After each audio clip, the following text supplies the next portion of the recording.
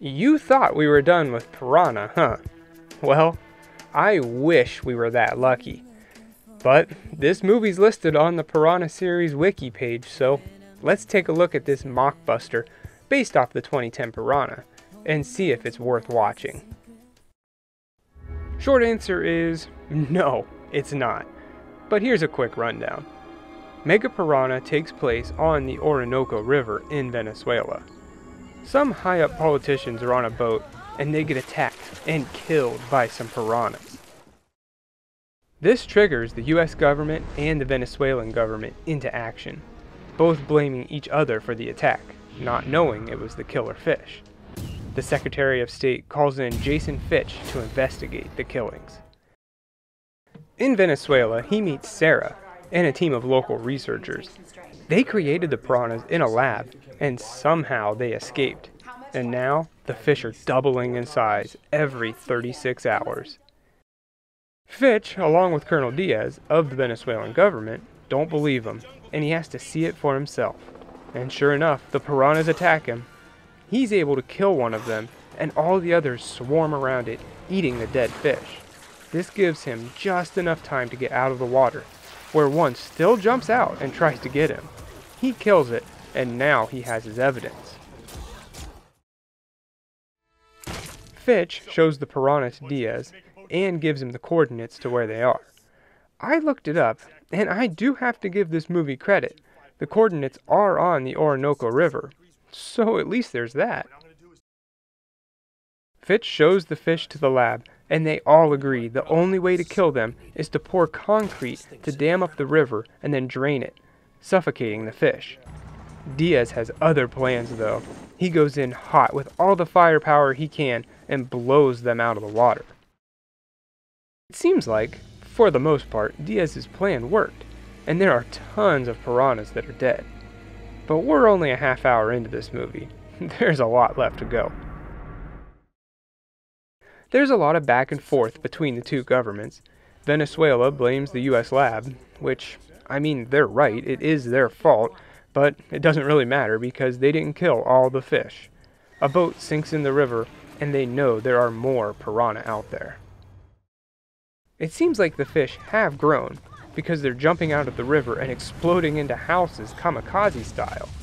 The scientists are able to tell, somehow, that the fish are heading toward the ocean, their leader is killed like Samuel Jackson from Deep Blue Sea.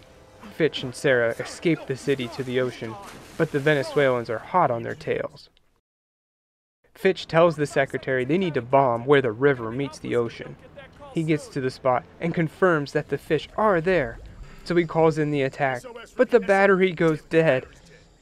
So he does something I've never heard of.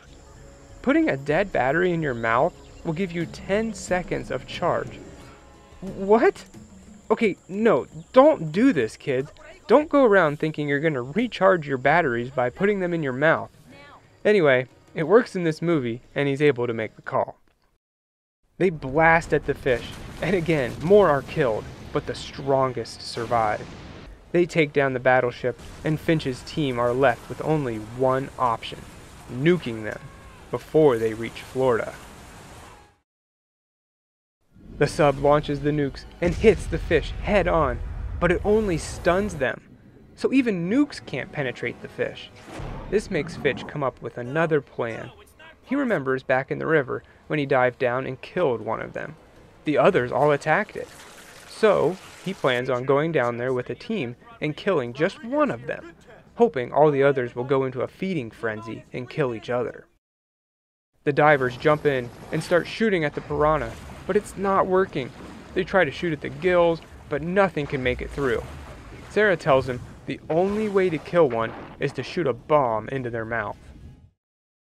Around this time, the Venezuelan government comes by and shoots all the other choppers out of the sky.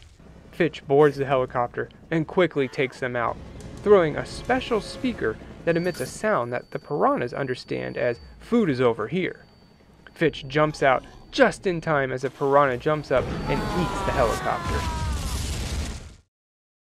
Now that they're out of the way, they can focus on the killer fish. Fitch corners one into a reef and fires the bomb. It kills the fish, and all the others come in for an easy meal. It seems like their plan worked, and the fish start eating each other. But I don't really get it. Best case scenario, there's still going to be at least one fish that survives because you can't eat yourself. Maybe they're hoping it'll just swim away. Finally, Finch gets with Sarah and blah blah blah. The end. But that's Mega Piranha. Where to start? First off, I wasn't expecting much, and somehow it still came in under expectations. It has a lot of fast editing in the beginning that kind of made me sick, and that's what you want a movie to do make you throw up. I thought maybe they would do some funny scenes to make it an intentional bad movie, but no, it's just a bad movie all around. I will say, it looks really good. Well, the scenes that didn't have CGI in them, and it picks up a little at the end. Don't watch this. It's not worth your time. I give Mega Piranha one kamikaze piranha out of four. Esta mujer. Um, uh, she's a diplomat Americano. We import her to the case. Ok, vámonos. That was smooth. Took French in school.